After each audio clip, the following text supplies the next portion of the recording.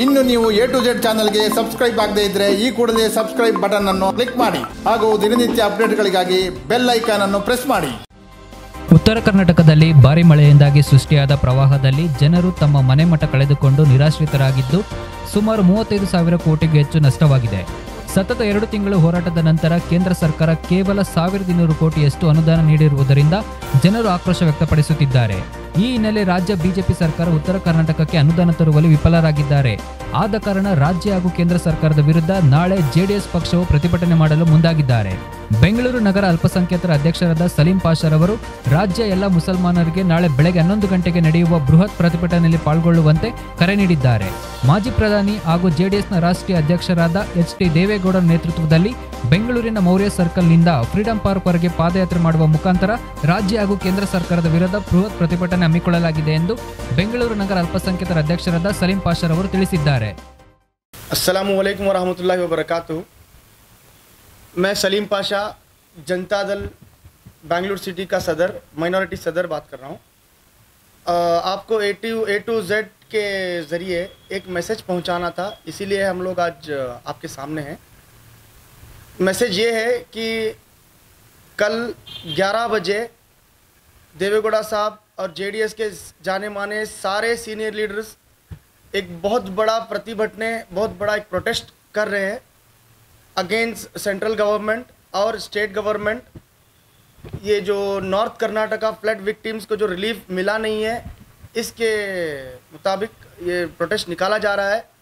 मैं सारे मुसलमान भाइयों को, सारे माइनॉरिटी ब्रदर्स सिस्टर्स को एक अपील कर रहा हूँ कि कल ज़्यादा से ज़्यादा तादाद में जुड़ें।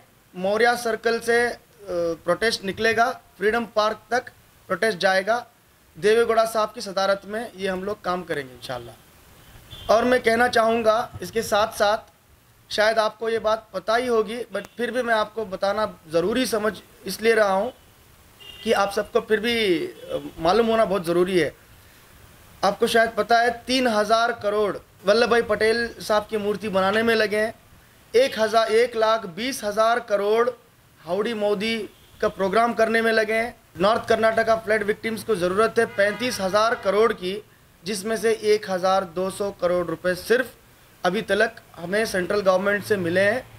और आपको शायद ये भी पता होगा कि कोई भी पार्टी, कोई भी सियासी पार्टी, नेशनल पार्टी, जो कांग्रेस हो या बीजेपी हो या कोई भी दूसरी पार्टी जो एग्जिस्टेंस रखती हो कर्नाटका के अंदर, कोई पार्टी, कोई सियासी पार्टी, कर्नाटका फ्लड विक्टिम्स के मदद के लिए आगे नहीं बढ़ी है। आप शायद जान सकते हैं, सिर्फ़ और सिर्फ़ देवेगौड़ा साहब, कुमार स्वामी जी और हमारे जो हीरो हैं, निखिल कुमार स्वामी, वो बस वही हैं जो आगे बढ़कर कर्नाटका नॉर्थ फ्लड विक्टिम्स के घर घर जा रहे हैं। अपना जितना हेल्प हो सके वो अपना हेल्प कर रहे हैं। और उनके साथ साथ हम भी, मेरा नाम सलीम पाशा है, हम लोग माइनॉरिटी बेंगलुरु सिटी से भी नॉर्थ कर्नाटका फ्लड विक्टिम्स के लिए दो कैंटर ले जा चुके हैं। और इन ताला आगे भी अगर हमारी ज़रूरत पड़े तो हम लोग ज़रूर जाएँगे। और मेरी आज ये अपील है कि सारे मुसलमानों से, सारे कर्नाटका के मुसलमान भाइयों से कि ज़्यादा से ज़्यादा तादाद में कल 11 बजे मौर्या सर्कल के पास जुड़ें, जो हमारी ताकत हम लोग मुसलमान एक ताकत बन के जेडीएस के साथ जुड़ के मासूम जो लोग कर्नाटका फ्लड विक्टिम्स में जो फंसे पड़े हुए हैं, जिनको ना खाना है, ना पीना है, ना रहने के लिए इंतज़ाम है, उनके लिए हम लोग आगे आएँ और हम लोग सेंट्रल गवर्नमेंट और स्टेट गवर्नमेंट से लड़ें और जो कुछ भी हमारे देवेगौड़ा साहब अपील करेंगे कल, इंशाल्लाह उसकी हमारी जीत होगी करके बोल के मैं बोलना पसंद करूँगा। इंशाल्लाह ताला। थैंक यू वेरी मच ಇನ್ನು ನೀವು ಎ ಟು ಜೆಡ್ ಚಾನಲ್ಗೆ ಸಬ್ಸ್ಕ್ರೈಬ್ ಆಗದೇ ಇದ್ರೆ ಈ ಕೂಡಲೇ ಸಬ್ಸ್ಕ್ರೈಬ್ ಬಟನ್ ಅನ್ನು ಕ್ಲಿಕ್ ಮಾಡಿ ಹಾಗೂ ದಿನನಿತ್ಯ ಅಪ್ಡೇಟ್ಗಳಿಗಾಗಿ ಬೆಲ್ ಐಕಾನ್ ಅನ್ನು ಪ್ರೆಸ್ ಮಾಡಿ.